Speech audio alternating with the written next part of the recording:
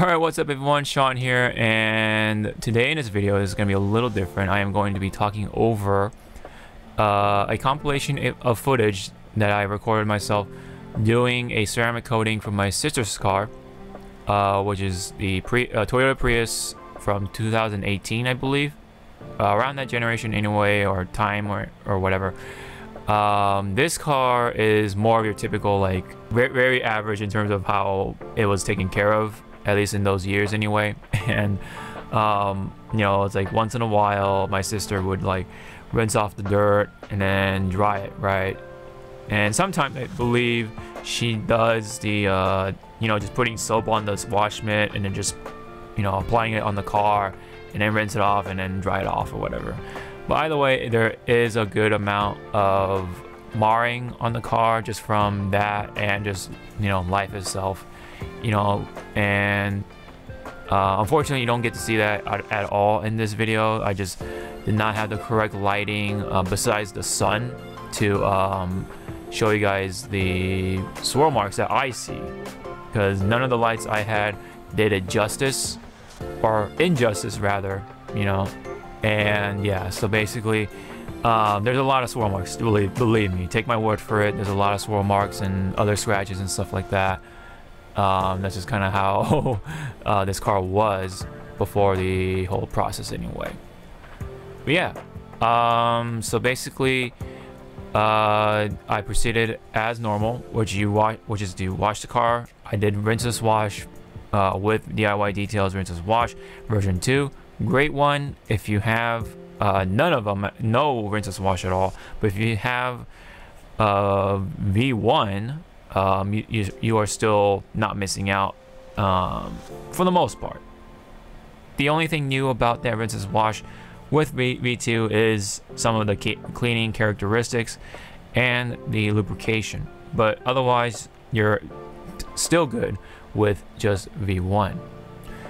Uh, but anyways, yes, I'm, I was using the SPTA mini cordless uh, polisher, which is fine which for like small spaces, but I really like using the Max Shine um, DA polisher, which is the 8 millimeter throw. It's like 120 bucks around that price, and it's a good one for beginners like myself or people who just don't really do it all that often.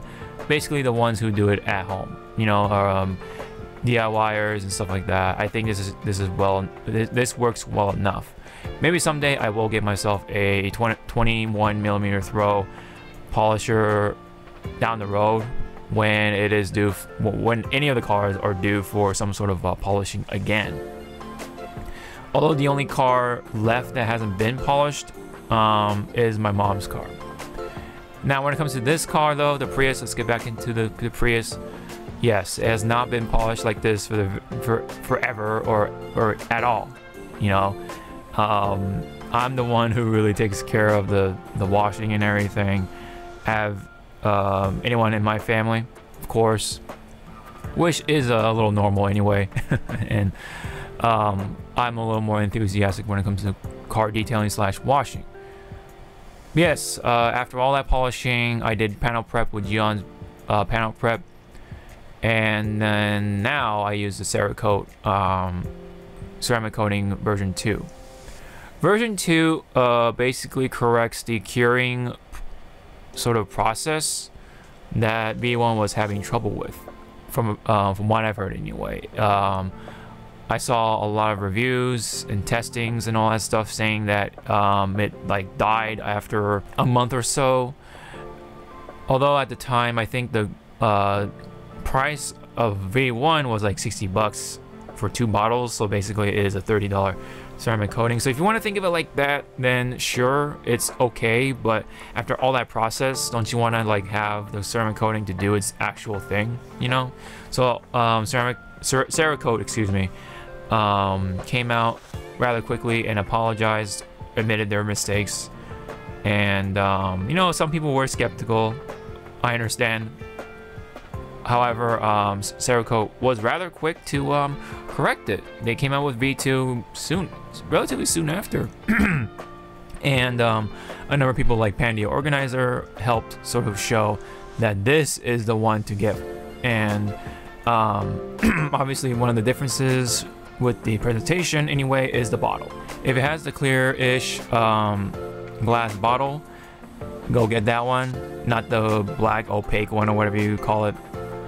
But um, one huge warning that I almost failed to do is to wear gloves. Please, please wear gloves when you're ceramic coating.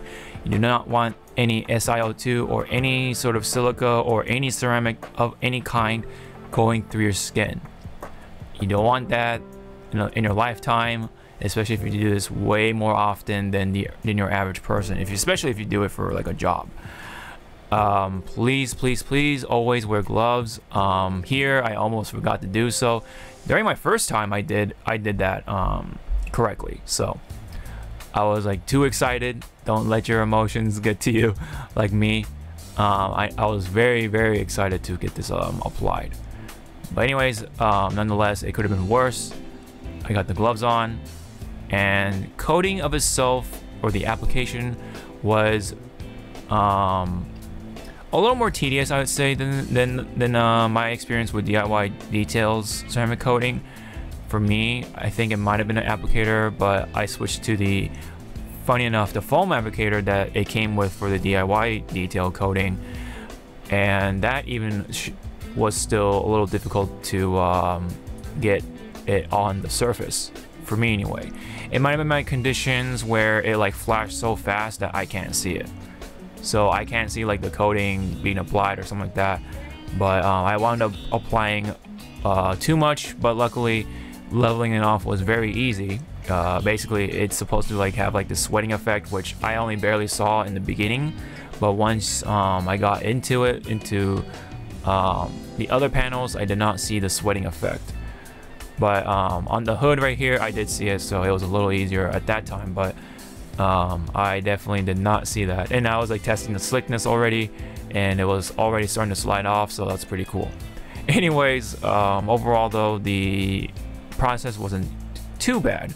Um, it was just like that, the sort of feeling of confidence or lack thereof of applying enough on the surface. But anyways, I just did it. I uh, I even over applied on some panels because I was forgetting.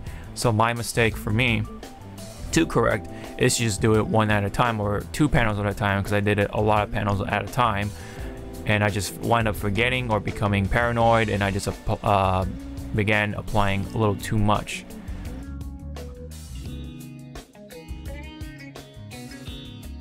yeah, this is, uh, I believe, after all that wiping and leveling and all that stuff. And this was the gloss right after, so you can see it in the garage. Um, obviously, the camera will never do it justice, but um, it did come out very glossy and shiny. Just from, you know, all the processes and stuff like that. Polishing and all that stuff, it definitely does help and really does make a difference for your cars. So it's, it's nice to give your car a treatment once in a while, that royal treatment polishing and even ceramic coating of course. It's the new kid on the block in, in, in comparison to waxing, right? Or sealants. I'd say this is pretty easy to do overall. You just have to be a little more attentive with um, ceramic coating to make sure you don't uh, apply too much. Uh, otherwise you'll have high spots. So yes, right here, this is my bottle after using it. Now, granted, yes, the Prius is actually a bigger car than I thought. It like barely fits in a garage in comparison to, to the other two cars. But um, even so, I think I applied too much of it. But um, leveling it off was no problem. That's um, kind of how easy it was. So with Cerakote, you can drive it off after two hours or whatever. But I um, wait for like 24 hours and then I put put the car back outside and uh, my sister was very happy to see the results of the ceramic coating. Uh, she she said it was like it looked like it looked like a completely different car. It was very shiny for her, so I was happy. I that's the stuff I live for, right? The happy, you know, good reactions from people, and yeah, so that's why.